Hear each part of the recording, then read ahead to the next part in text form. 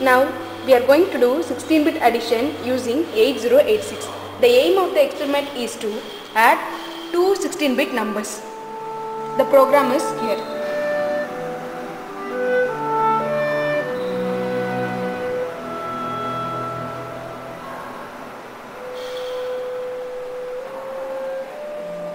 Now I am going to enter the opcodes in the 8086 kit.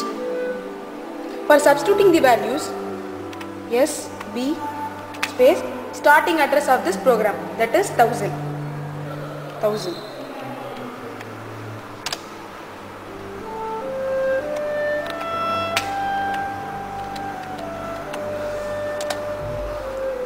The first opcode is A1.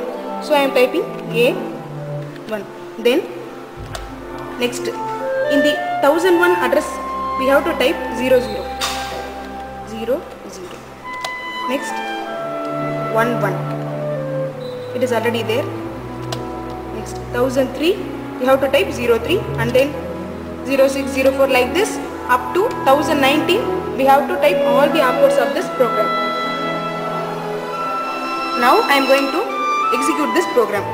For executing G O space starting address of this program. That is 1000 now it is executing now I am going to give input for this program.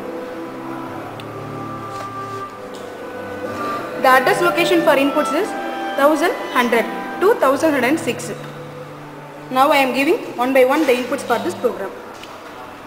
SB space 1100 in this I am giving 5 6 as the in- input and then 7 8 and then 1 2 3 4 5 6 7 8 1 2 3 4 this is the 16 bit data.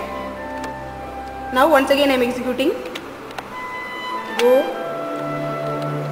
1000 now it is executing.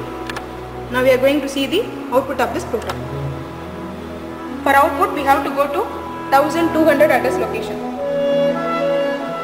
So SB space 1200 now the output is displaying AC and the second one is F0 and then 24 and then 68 and then in 1204 the carry value that is 00 now the experiment is over